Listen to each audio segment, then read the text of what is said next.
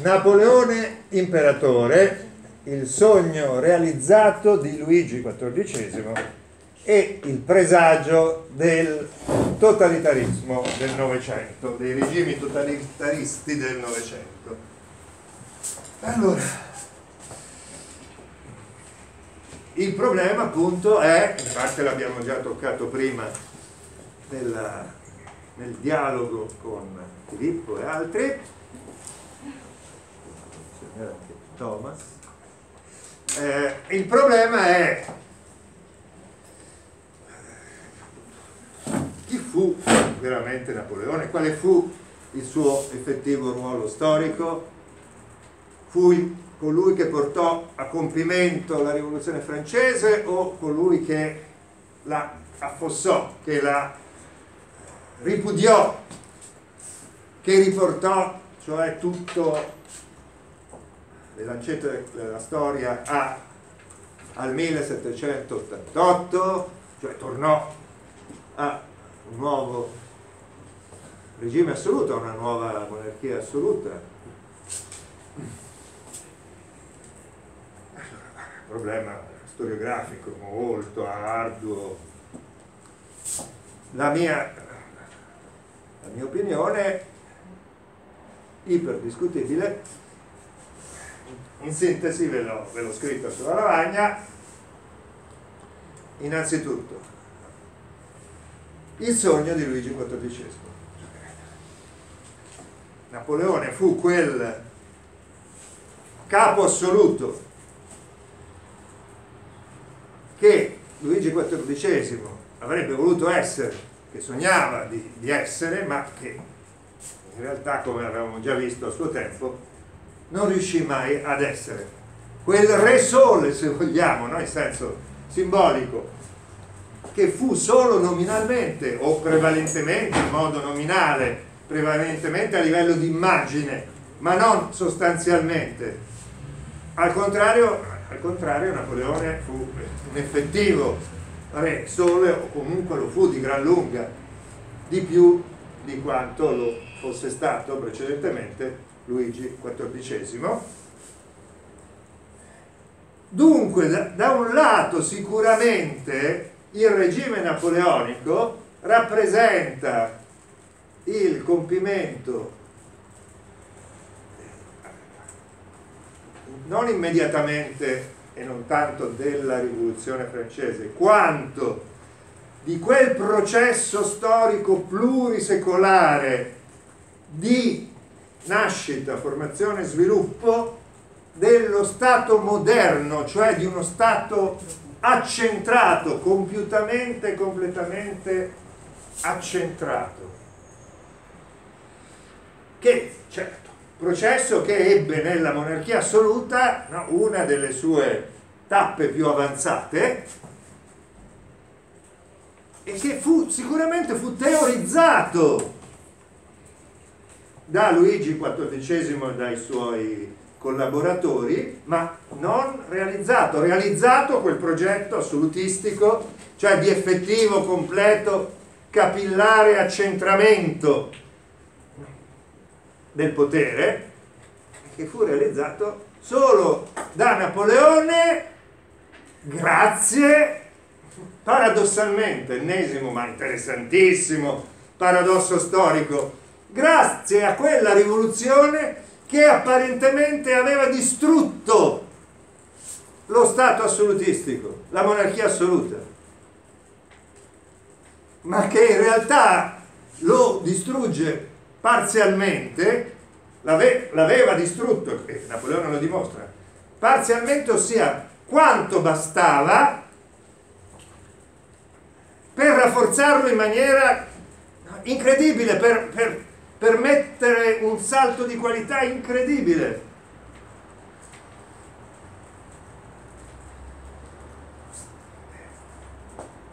Napoleone, in gran parte, no, certo, eh, diventa quello che è grazie alle sue vittorie clamorose, continue, ripetute, sfolgoranti vittorie militari.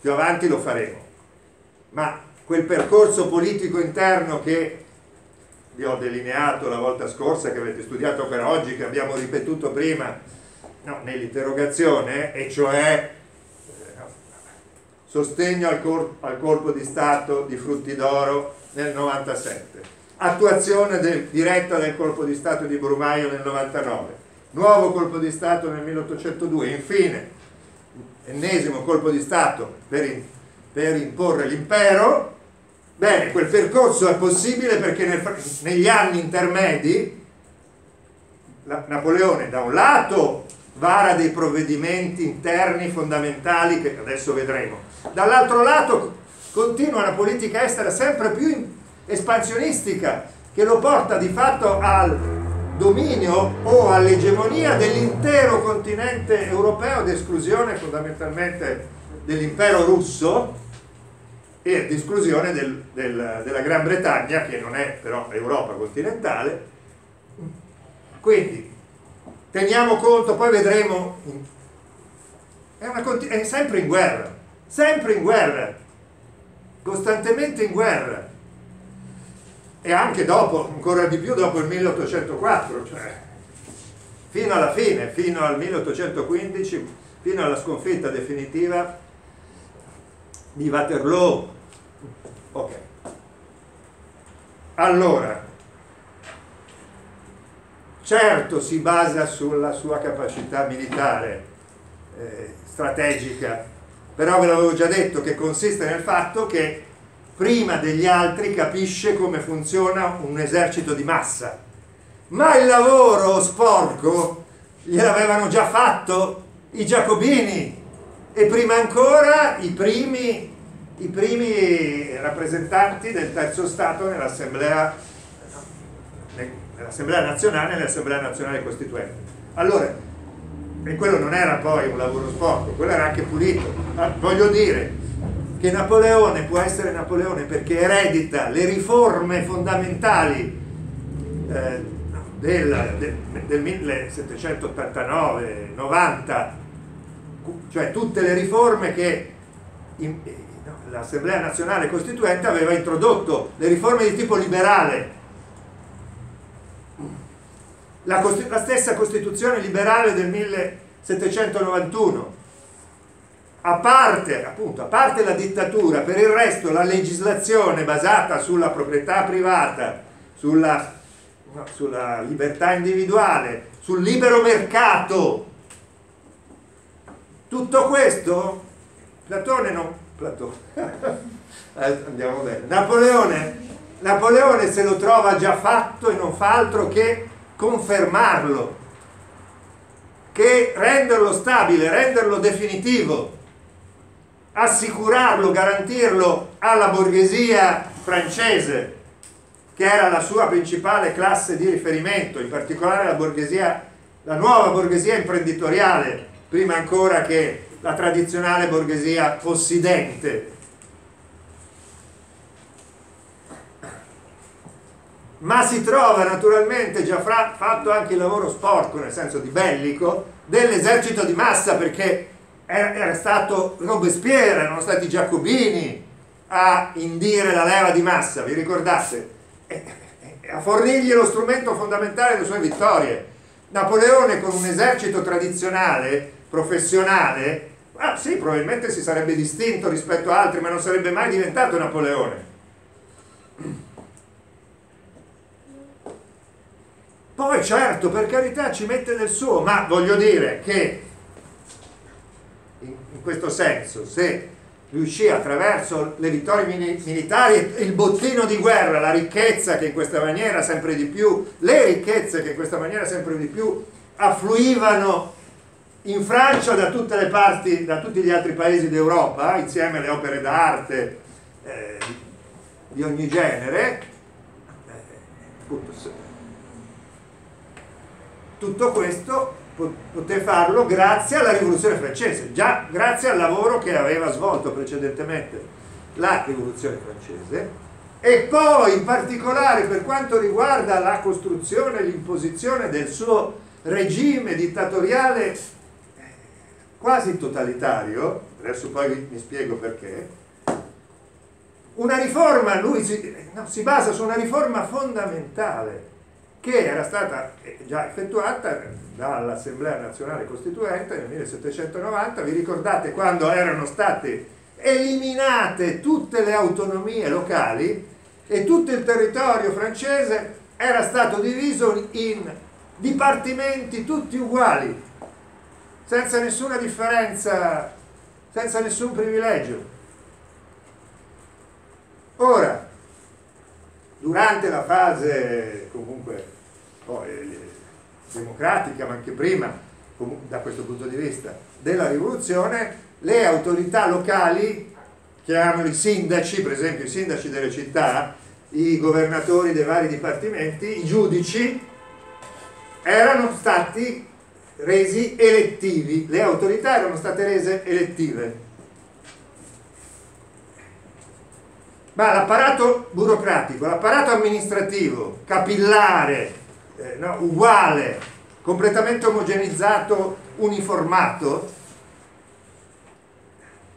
rimane tale quale. Lui che cosa fa? Toglie il principio elettivo e impone la sua, la sua scelta. In, in, base a che cosa? In, si inventa il vero, la vera tecnica di centralizzazione del potere, e cioè il sistema dei prefetti. Tutti i dipartimenti hanno come capo assoluto, hanno un mini re assoluto, il prefetto, che è scelto da Napoleone e che è revocabile in qualsiasi momento. Quindi dipende, non è, capite, non è il vassallo, cioè è un funzionario assolutamente ligio assolutamente obbediente perché sa benissimo che appena fa qualcosa che non, che non va o non fa abbastanza bene quello che gli viene ordinato, salta. I prefetti poi, su mandato di Napoleone, scelgono i sindaci, scelgono, tutte, scelgono i giudici. Non è uno Stato liberale perché il potere giudiziario è completamente controllato dal potere politico centrale, dal governo, dal potere esecutivo. E non c'è nemmeno un potere legislativo, oppure c'è un potere legislativo puramente formale. Un'assemblea che è così, scelta da Napoleone, che gli serve come una sorta di camera di consiglio tecnico. Datemi dei consigli tecnici, poi decido io quello che mi pare piace, quindi Quindi tutti i poteri sono concentrati, potere assoluto, legislativo, esecutivo, giudiziario. Ma a differenza di Luigi XIV, sulla carta ce l'aveva anche Luigi XIV, ma Luigi XIV non aveva l'apparato burocratico, non aveva l'esercito e non aveva l'apparato burocratico che gli permettessero effettivamente di esercitare in modo capillare questo potere perché comunque si scontrava con i poteri locali, con il potere del, del Parlamento di Parigi, con il potere del Parlamento di Bordeaux, con eh, i privilegi municipali di Tolone piuttosto che di Tolosa o di Lione, quelli ancora di antica tradizione feudale, spazzati via dalla rivoluzione. Tutti i limiti spazzati via dalla rivoluzione. Napoleone ha un terreno vergine, libero, completamente libero da qualsiasi, da qualsiasi limite, e quindi e quindi sistema dei prefetti. Prefetti, sottoprefetti, autorità, sindaci e qualsiasi altra governatori, tutti, tutti militari, un'organizzazione militare, da esercito, con una disciplina militare. E chiaramente avendo un esercito potentissimo, come poteva sconfiggere gli eserciti alleati austriaco, russo, prussiano, poteva, figuriamoci se non poteva reprimere una, una anche la minima sommossa. Monarchici e giacobini che, vi ricordate, avevano tentato di, di rovesciare il direttorio, no? più volte avevano tentato di rovesciare il direttorio e c'erano quasi riusciti, ma, ma non, hanno, non, hanno, alcuna possibilità. La, naturalmente la burocrazia, il numero proprio di funzionari eh, aumenta enormemente.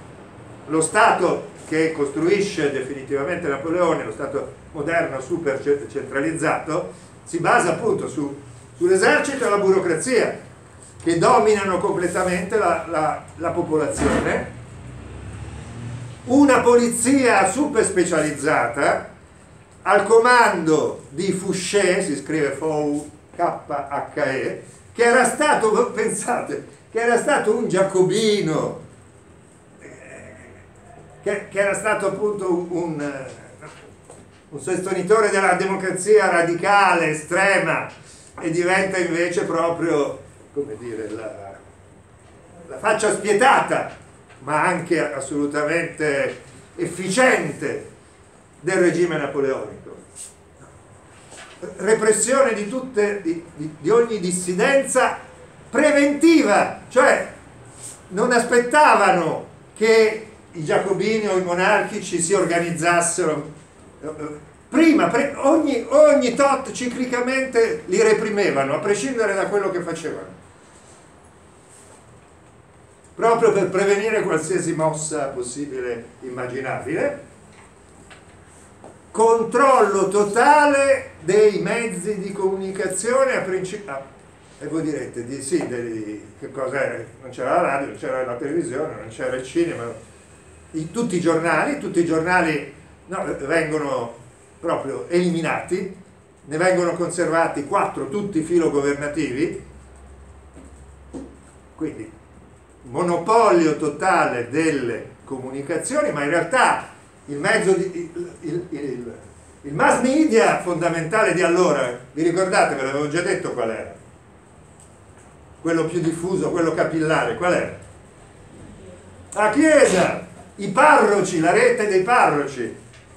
E, e come fa? Sì, certo, vi ricordate? Allora c'era stata la Costituzione civile del clero, vi ricordate che eh, sulla carta tutti tutti i preti diventavano funzionari dello Stato, dovevano giurare fedeltà, però metà, almeno metà del clero si era ribellato e naturalmente il Papa lo sosteneva e Napoleone da questo punto di vista è furbo, è diplomatico, no? nel senso che arriva appunto a, a un compromesso con il Papa, firma un concordato e lo stesso faranno Hitler, lo stesso farà, avrebbe, aveva fatto prima ancora Mussolini, per avere l'appoggio della Chiesa, quantomeno la neutralità della Chiesa, della Chiesa cattolica, della rete dei parroci, ma meglio l'appoggio. Allora che nel 1801 Napoleone riesce a appunto, a divenire a un accordo con la Chiesa romana con il Papa sulla base di un concordato, cioè di un documento che stabiliva che certo i vescovi e i preti francesi formalmente erano indipendenti, formalmente dipendevano dal Papa, ma di, di, fatto, di fatto, erano eh, subordinati allo Stato, cioè a Napoleone. In che anno il concordato? 1801. E quindi, e quindi chiaramente a quel punto di fatto eh, fonda, stabilisce una chiesa gallicana, cioè francese che, che dipendeva da lui, di diritto dipendeva dal Papa, di fatto dipendeva da lui e quindi, e quindi i parroci nelle prediche erano il suo megafono, eh, anzi i suoi innumerevoli megafoni. Ecco perché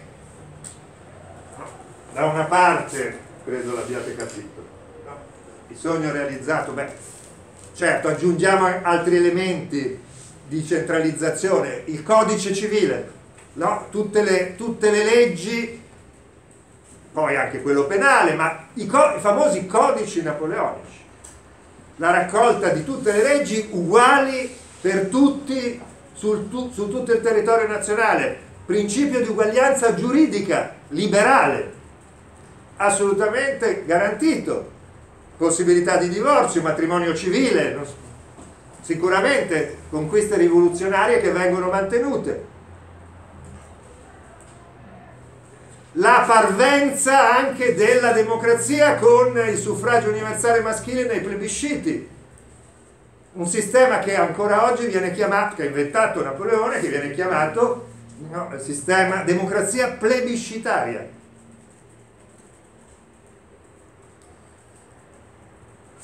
O anche cesarismo,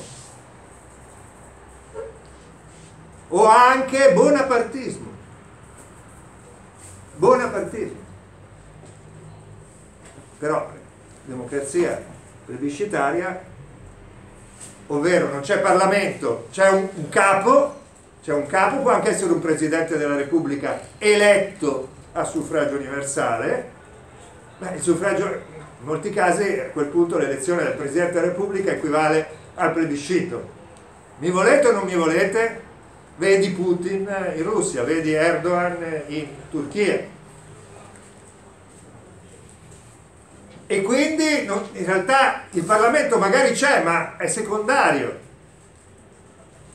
Democrazia plebiscitaria, perché c'è il rapporto diretto tra il capo e il popolo che, magari se il capo è un presidente, idem in Iran, il presidente della Repubblica, che pure però è sotto, è sotto la guida suprema, però è, eletto direttamente dal popolo in modo plebiscitario, anche perché in Iran non c'è possibilità di opposizione, non ci possono essere giornali eh, contrari al, al regime. Ok? Quindi, però, allora, da un lato, da un lato abbiamo detto, quindi possiamo dire che oltre a realizzare il sogno di proibito di Luigi XIV, effettivamente, effettivamente stabilizza e garantisce i risultati della rivoluzione francese di tipo liberale, cioè proprio i, i principi, le riforme della prima fase della rivoluzione francese, no, ovviamente quelle, quella successiva, quella democratica